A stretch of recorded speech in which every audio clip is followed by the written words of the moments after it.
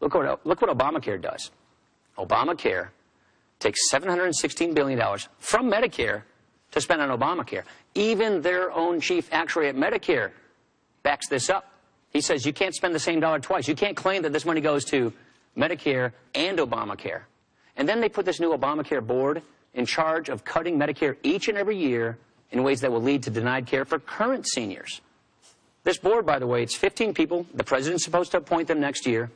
And not one of them even has to have medical training. And Social Security, if we don't shore up Social Security, when we run out of the IOUs, when the program goes bankrupt, a 25% across the board benefit cut kicks in on current seniors in the middle of their retirement. We're going to stop that from happening. They haven't put a credible solution on the table. He'll tell you about vouchers. He'll say all these things to try and scare people. Here's what we're saying.